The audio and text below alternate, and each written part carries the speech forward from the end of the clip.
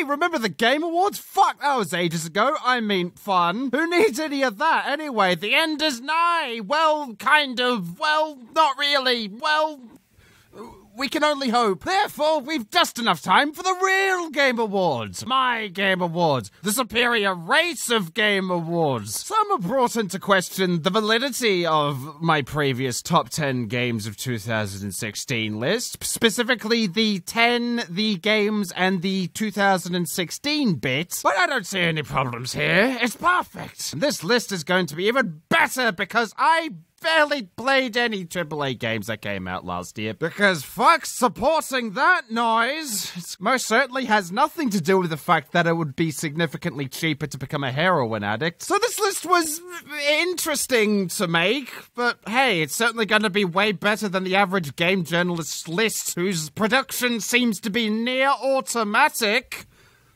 Which leads us to.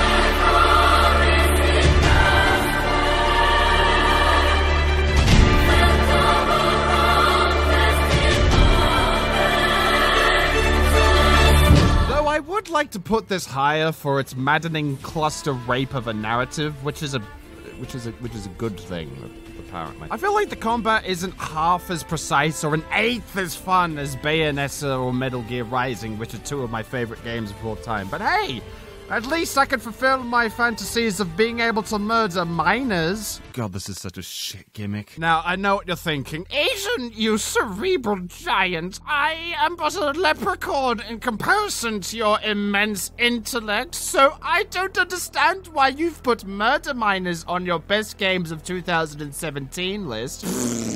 Well, in response, I say, why isn't it on your best games of 2017 list? Oh, you don't have one? Well, fuck me good and gentle. I guess it's going to have to be on my list then. And my rules say that this game is more fun than it has any right to be, and is most certainly a Far Cry 3 better than most modern multiplayer shooters. Yeah, you heard me. Holy shit, is that. Is, is, is that, is that color? What? Color? Is that legal? And a villain?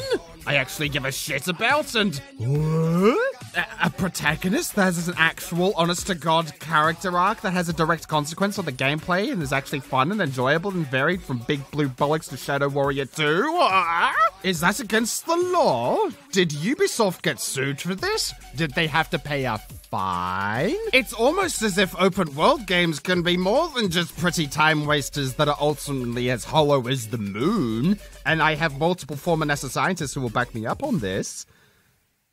Hey, didn't I say Shadow Warrior 2 earlier? Get what fucking mental! Not only is it fun with a first person melee system that, even despite the decree of the Holy Divine Prophet, actually fucking works. The customization is crazy, chock-a-block. Some would say it's overly meticulous. I would say, quit being so right, you keenly observant little bitch. However, if you can manage to be patient with it, you can turn seemingly useless weapons into the thumb of God.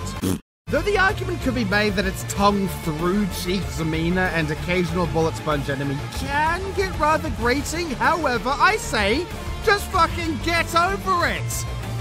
With Bennett Foddy. This is probably the best example of a walking simulator that I've ever seen. You see, the idea of a walking simulator is to take the player through an unconventional storytelling experience and well, it's already nailed the unconventional part fairly well, I'd say. Now it just needs some wanker with a funny accent to wax philosophically down your fucking ear. There's no Oh, feeling more intense there it is. than- Earlier in the year, debate was circling around Cuphead for its difficulty and elitism and gaming or some shit. I've got no dick knobbling clue why Cuphead copped all the flack when the fact that only a handful of people will ever have the time, patience, and sheer willpower to ever complete it is considered an integral part of the experience. But as Sisypheanly impossible as this game is, it's amazing how motivating an iota of context and the threat of getting Nietzsche's quoted at you every time you fuck up can be. The unconventional gameplay that just gently molests the line of being unfair is engaging, but it will make you its daddy. I mean, it will be your daddy. I mean, it will. Uh, It will violate you. The next game's Dream Daddy. Dream Daddy is a simple but hilarious lampoon of the visual novel genre, which uses its ridiculous premise to convey a truly heartwarming story. A smidge overwritten, but it definitely did stick with pop culture references. More I thought about it. It's definitely an invigorating experience, but it is not dead sexy. Deep, multi-layered Black Forest cape of a game theory game. It is a simple, straightforward Lamington narrative with a semi-unique storytelling gimmick. I fucking hate this idea that keeps going around that anything that's even vaguely unconventional is actually this deep, complex, philosophical, metaphorical experience that's a metaphor for the futility of existence or some shit. Bring back JonTron, you horn! I don't know, whatever. Still, fuck visual novels, honestly. Fuck off. Fight of Gods is a truly righteous experience made by people with massive swinging balls. Pulled out and his hot load spewed all over the baby, giving him his first facial when he's only the young age of a few months. I'm not thinking about that. I was raised in a religious household and went to a Catholic high school, so as such, I am deeply, deeply atheistic. So I'm willing to forgive teething issues like choppy animation and balancing for the sake of putting Jesus Christ and Gautama Buddha in a battle to the death. I would do absolutely anything to see the addition of Muhammad to the player roster. I do realize that there are several obvious and decapitating reasons why that'll never happen, but still, a boy can have faith and pray to a renegade angel. All right, this next game is going to be a little bit controversial, but I like to think I know my video, James, and I feel like I have the constitution to stand by my opinion. So number seven is Xavier Renegade Angel. Some people seem to think that Rick and Morty is some sort of pinnacle of surrealist existentialism. yeah, no, this shit is more psychological than Sigmund Freud eating his mother's ass. You are you you are seeing this, right? You are you are seeing this what's happening on screen right now, right? You, you, you get why I'm holding this to such a high standard, right? This video game isn't human. I don't even think it's real. I'm not even convinced that I'm conscious right now. It is such too deep for you, bait. I'm amazed there isn't more game theory bullshit on this shit. Welcome to the U.S. Army. How can I help you? I need some of that disease you guys invented. crack. The other one. AIDS. That's the spice. You'll need to fill out an HC248 requisition form. I don't have time for that. I shouldn't do this, but here. Someone left this in the lost and found. Frittata. This shit spits wit quick, skit for skit, you'll be in a fit. I mean, it's well written, and you'll leave a link in the description where you can watch it. It ain't ever gonna be no mainstream new Colossus, but it holds a very, very special place in my heart. Speaking of new Colossus, Wolfenstein the New Colossus not going to be appearing on this list. Yeah, yeah, no. Sorry, you cheeky bugger. I'm not entirely sure what award nominated game direction is, but it sure as shit ain't making the same game fucking twice. That's why I'm popping number six on Wolfenstein The New Order. Now, Doom, Do- Doom is great and all, but it only seems to do one thing. It does that one thing extremely well, but as Bruce Lee once said, fear not the hooker who sucked a thousand dicks, but the hooker who has sucked one dick a thousand times. That doesn't even work as a metaphor, let alone a joke. But what does work is the gameplay and the setting variety. Excellent! But it's this refreshingly self-aware and grim story that truly makes it stand out from most shooty shooty bang bang games that I've played in the last fortnight battle royale. Yeah, close enough. There have been many detractors of this opinion, but I love this game and everything it stands for, and it is most certainly better than this smut, and I will repeat that objective truth until it stops being the objective fucking truth. Which is why my number five position is going to the smut. Hey, Struth card, fucking plot twist of the century. Yeah, get in, cunt. As much as I appreciate the sentiment of Fortnite Cattle Royale, I've easily had more fun with friends with PUBG. Even if it was mostly from bitching about how bad it was and fucking with Chinese people in the voice chat. But will I ever say that this thing game is a good thing? Do hats have time in them? Of course not. It is the time that contains the hats, as evidenced by our next title. Hmm. It's a hat in time. This game is sweet, and it knows it. It's just really fun and charming and fills your eyes with childlike wonder, which is nice. It's like Yooka-Laylee, except it has Jontron, so it's better in every single way possible. Young lady, if I catch you in the studio, Not spreading Nazi propaganda. you'll receive a ticket so big you'll be in debt for years. Sadly, it picked a really, really, really bad time to release, so unfortunately, it managed to snake past most people's radars. Much like our next game. snake Pass is interesting. A lot of people gave this a pause.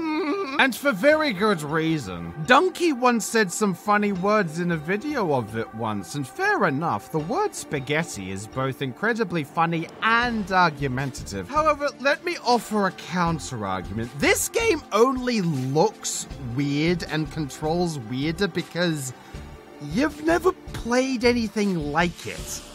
Oh, come on, that doesn't count. Fuck you. So, what we have here is a platformer where you cannot jump. That's like an FPS where you don't shoot things, or a simulator that isn't boring. It was an experiment to try and flip a fundamental of the genre on its ass, and it amazingly works. Just as you learn to become a more proficient jumper by playing platformers, and just as you learn how to become a more accurate shooter from playing FPSs, you learn to control this adorable length of shit the more you play this slither.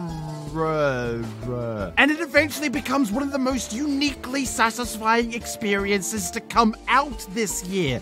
But I will admit that it is unorthodox, and unorthodoxy creates division. And that division has made the player base a real no man's land. Or should I say, No Man's Sky 3! Yes! Yes! Yes! We did it! We did it again! No Man's Sky 3 for Game of the Year! Yes! Yes! I can't just keep giving No Man's Sky Game of the Year. It's just not right. And I think someone else has a similar running gag. Guess I'll just have to rely on another ambitious indie game that had been hyped up for many years on the back of a unique selling point and honestly no other relating factors. Hmm. Literally every praise has befallen this game short of curing AIDS. So I'm just going to say that to everyone at Studio MDHR and to everyone else involved in the creation of this art piece, I just want to say genuinely thank you for your talent and dedication to bringing cup representation to the mainstream. Not enough dedication to nab the top spot. yeah, nah, mate. You see, I may love Cuphead, but I judge this the same way I judge the Leet Beauty Contest. Ultimately, the decision falls to whomever sinks their teeth in me the deepest. And what I've found is that a lot of artsy indie games are like a are like a flashy suit of armor. Certainly very nice to look at, but ultimately they are hollow. And by that I mean short. Cuphead tries admirably to avoid this by actually having engaging gameplay, and uh, I more or less enjoyed every second of it.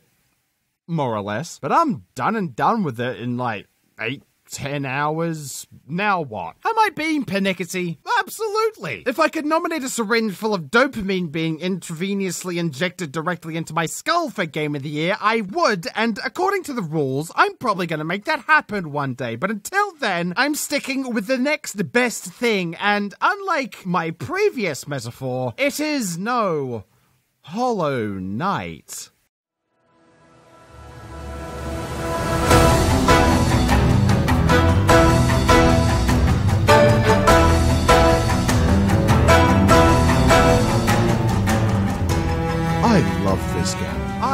This game so much. I bought the plushie for the damn thing. A game that started from humble beginnings that led to the inception of an intricate, intriguing, interlocking world interloped by an inquisitive little insect that keeps on surprising, keeps amazing, keeps astounding with beautiful artwork and soundtrack and its simple but satisfying platforming and combat. This game makes me happy. Very happy. And at the end of the day, that's all I ask for. Thank you for making me happy. To every game, game developer, creator, and friend that has made me happy, thank you for an amazing year, and I hope next year is even better. And hopefully, I'll actually get my fucking shit together and start making videos and shit next year. Thank you, and good night.